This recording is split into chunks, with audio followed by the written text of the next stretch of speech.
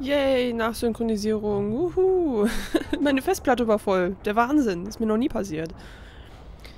Ähm, so. Ich versuche das mal jetzt irgendwie hier nachzusynchronisieren, dass das irgendwie vielleicht ein bisschen passt. Ähm, jetzt weiß ich natürlich nicht mehr so genau, was ich gequatscht habe. Ähm, auf jeden Fall mein Ziel ist es jetzt, diesen Mudaken aus dem Screen rauszuziehen nach links. Aber ich glaube, ich wollte erstmal gucken, wie jetzt der rechte Bildschirm aussieht. Also rechte Screen.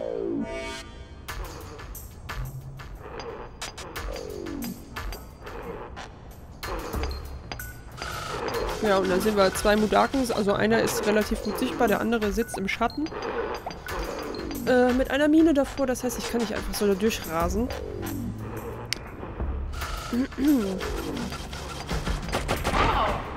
Und da habe ich mich dann gewundert, warum ich gesehen wurde, denn eigentlich war ich noch im Schatten.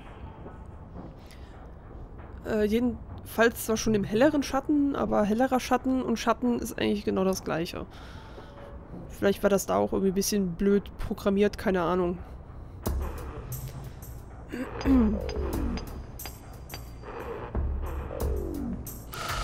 So, da habe ich jetzt gewartet, bis der gute Mann wieder weggelaufen ist. Und jetzt möchte ich gerne einen Slick übernehmen, um die ganze Sache ein bisschen zu bereinigen.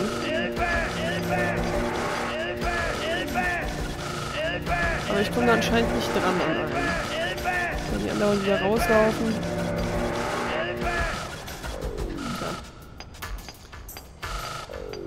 Denk, denk, denk, denk, denk. Ich bin echt, ich habe glaube ich noch nie nachsynchronisiert. Muss ich dazu sagen. Ich habe das vor, vor 10 Minuten habe ich das gespielt und ähm, ja. Ich bin auf jeden Fall froh, ähm, dass ich nur einen Part quasi nach, ja gut, bisschen mehr als einen Part nachsynchronisieren muss. Ähm, und nicht komplett alles, weil ich glaube, dann hätte ich nochmal neu gespielt. Ähm, ja, jetzt versuche ich, glaube ich, den Slick mit rüber zu ziehen. Zu, nee, erstmal den... Erstmal den Mudaken rüber. Genau. Und dann, glaube ich, mit der Lore weiter nach vorne rücken und ein bisschen kaputt machen. Kaputt manchen. Was auch funktioniert hat. Zwei Slicks sind tot.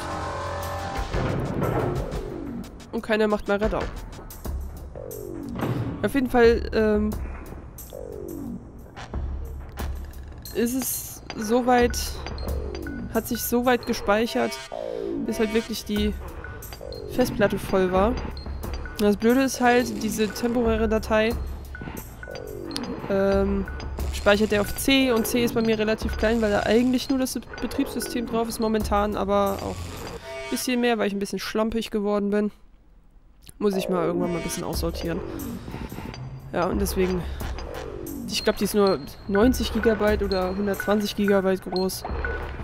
Und da sind halt ein paar Sachen von Steam noch drauf, die wirklich über C laufen sollen. Ja, das Temporäre hat er halt da drauf gespeichert und da war halt irgendwann voll. So. Jetzt denk, denk, denk. Was mache ich?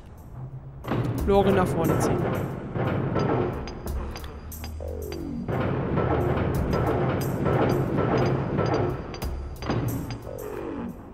Wollte ich dann eigentlich so nah wie möglich an diesen pinken Streifen rankommen.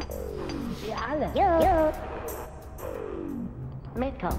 Okay, okay. Da habe ich es dann einfach versucht und gehofft, ähm, dass sie nicht direkt erschossen werden. Hat auch funktioniert. Und somit wäre diese untere Ebene komplett befreit von bösen Schädlingen. Und äh, jetzt kann ich einfach meine paar Mudakens einsammeln und die retten. Natürlich nicht den letzten hier vergessen. Okay.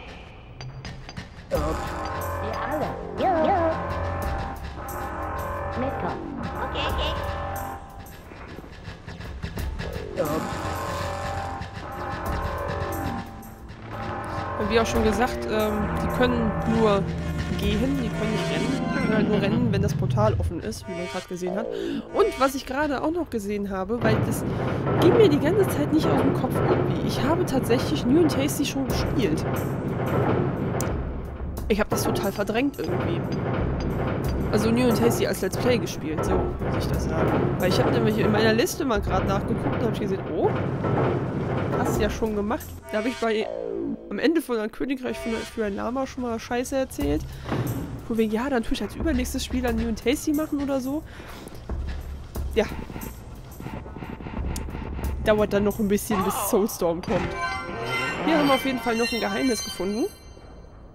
Ähm, wo einer plus drei sind, also vier Mudaken, das heißt uns fehlen nur noch drei Stück dann, wenn wir die gerettet haben. Der hat das ein bisschen spät kapiert so. Hier haben wir auch Scheiße gebaut, also kleine Scheiße gebaut, denn der Obere hat überhaupt nicht gerafft, dass das Portal offen ist, deswegen musste ich ihn nochmal anquatschen. Ist dann mit mir in den anderen Screen reingelaufen, weil ich aus irgendeinem Grund rübergelaufen bin.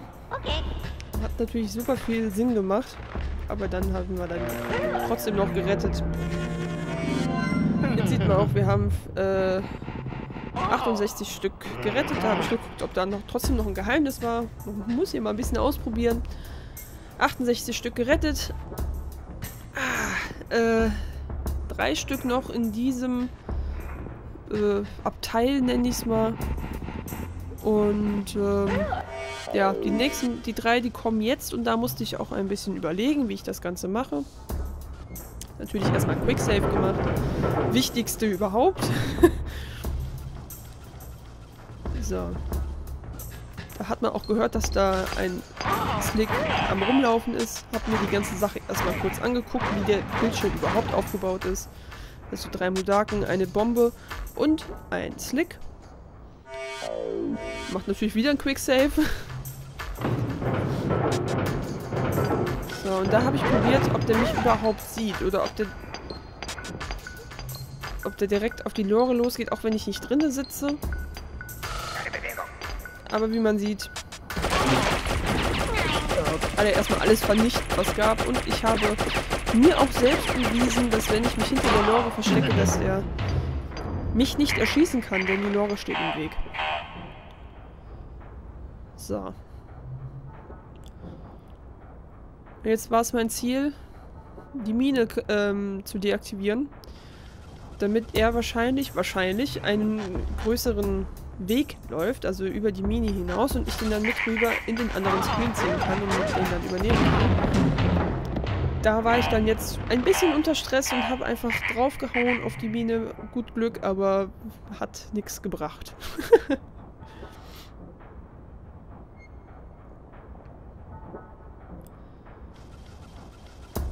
so. Jetzt erstmal in den Screen reingehen, sich das Muster der Mine angucken.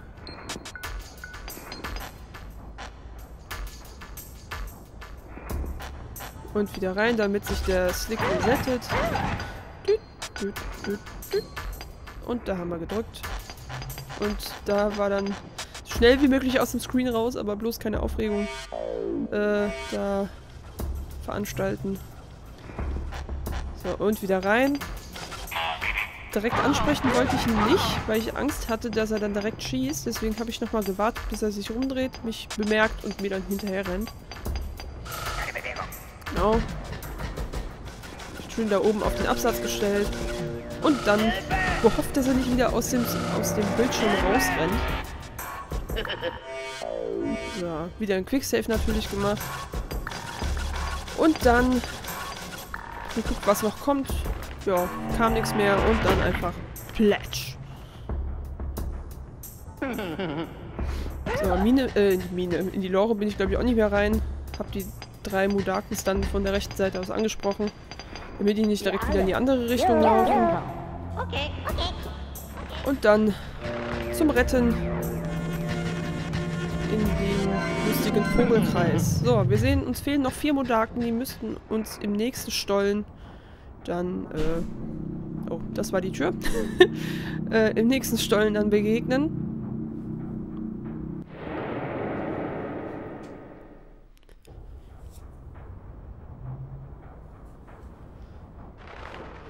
So, also hier ist mal nicht viel los auf jeden Fall. Da unten sehen wir den Vogelkreis zum Retten. Und äh, da müssen wir schleichen. Genau, da müssen wir dann das Tor öffnen und damit voller Karacho oben auf den äh, Vorsatz, nicht Vorsatz, auf dieses Ding da rennen. So, der rennt jetzt erstmal schön aus dem Bildschirm raus und man denkt so, scheiße, jetzt kriege ich den nicht mehr. Aber da muss man ein bisschen stehen bleiben, ein bisschen chanten und irgendwann kommt er wieder ins Bild reingelaufen.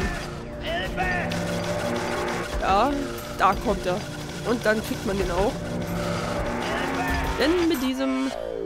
Erstmal Quicksave, genau. mit diesem können wir jetzt die ganzen Spackos da unten vernichten. Da habe ich ein bisschen Angst gehabt, dass ich den Mudaken treffe, der da unten rechts am Hämmern ist. Aber der müsste eigentlich durch diesen Basalt, habe ich es mal genannt, äh, Basaltklotz hinter ihm, müsste der eigentlich geschützt sein, genau. Bin ich jetzt nochmal nach links gelaufen, um zu gucken, ob ich wirklich alles links getötet habe. Dann wieder weiter nach rechts, um zu gucken, was im nächsten Screen passiert. Da war dann natürlich auch nichts und dann haben wir den Ganzen einfach mal ein Ende gesetzt. So. Dann bin ich doch nochmal, glaube ich, zurückgelaufen, habe geguckt, ob da noch irgendwo was ist, was man holen kann. Ich war zwar eben im Slick schon mal da, aber doppelt hält besser. So, ab in den Brunnen nach oben und da wusste ich noch, ähm, ja, dass da drei Slicks sind, die glaub, wo glaube ich nur einer von aufgewacht ist.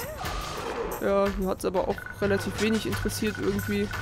Ich bin dann erstmal auf den Absatz da oben gesprungen. Nee, gar nicht. Doch. Der kam dann auch mal endlich. Den braucht man auch gar nicht. Also ich habe dann erstmal noch genau geguckt, was da drüben ist. Und ähm, habe dann die Tür geöffnet und übernehmen können wir die Slicks sowieso nicht. Deswegen geht's ab weiter nach unten. Plöpp, plöpp. Und im nächsten Screen erwarten uns auch nochmal, glaube ich, zwei oder drei Slicks, die schlafen, wo wir dann auch nochmal schnell nach rechts rennen müssen. Der müsste uns folgen, genau.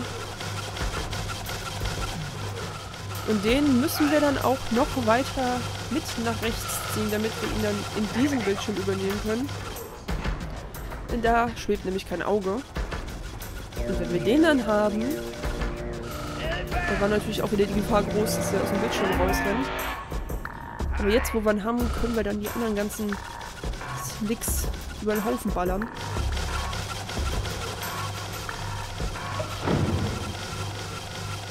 So, der war natürlich da unten geschützt durch den Basalt. Ich nenne es jetzt einfach mal Basalt. Da habe ich versucht, durch diese kleine Lücke durchzuschießen, was aber irgendwie nicht funktioniert hat. So, und hier war aber... Da konnte man ballern, wie man lustig ist. Also, da hat man fast immer getroffen. So. Genau. So, jetzt haben wir auch alle kaputt gekriegt. Ich glaube, ich habe mich nochmal vergewissert, ob wirklich alles hinüber ist. So, jetzt können wir durch den Teleporter uns nach vorne teleportieren und direkt in die Lore einsteigen.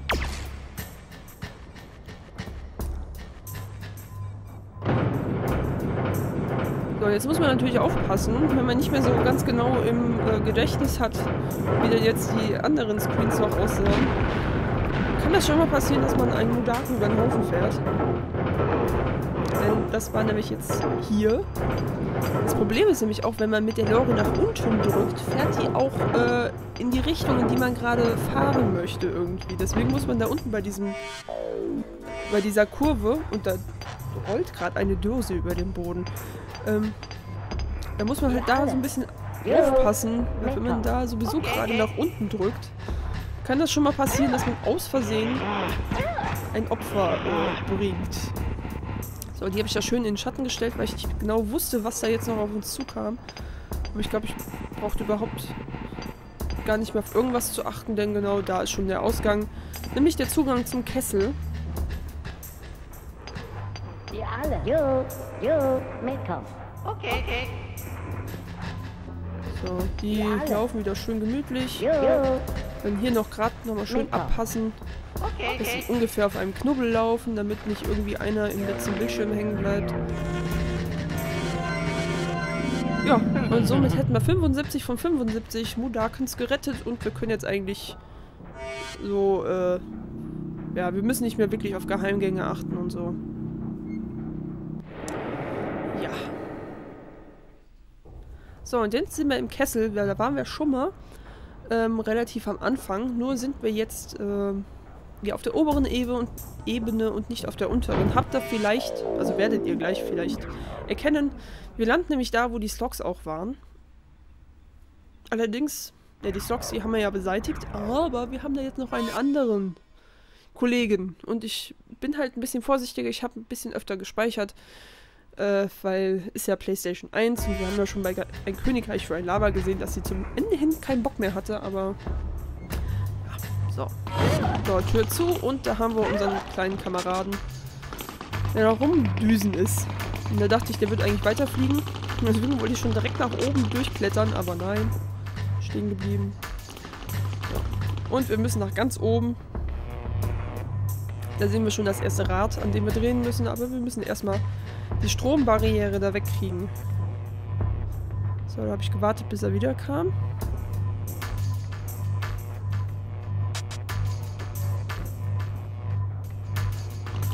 Da kommt er. Ja, und weiter geht's. Da hätte ich vielleicht stehen bleiben sollen.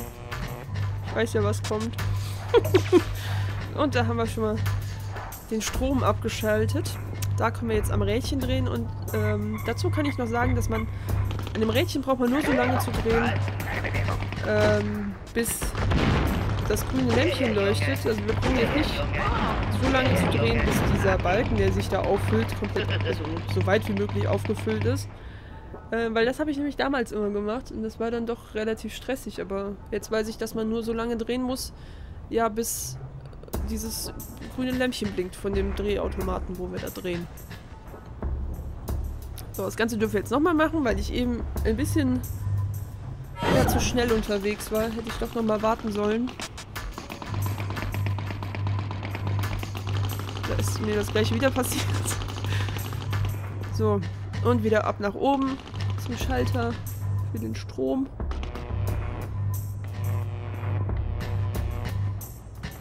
Kann auch nochmal betonen, mir gefällt einfach diese ganzen Hintergründe hier. Hin Hintergründe.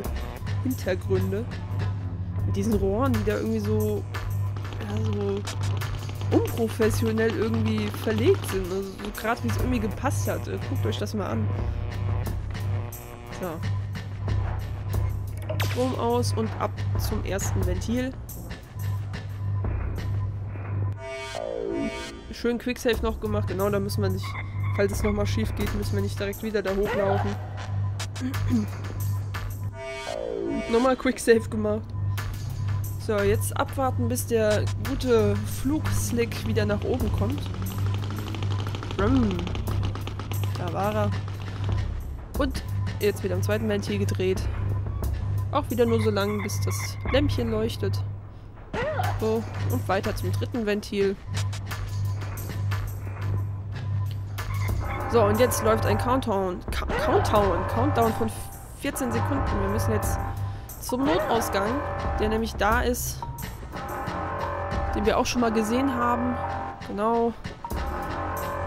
So. Man hat auch, wenn die Zeit auf 0 runterläuft, hat man immer noch ein paar Sekunden Zeit, denn dann äh, sieht man schon, wie die ganzen Steine und so äh, von oben runterfallen und alles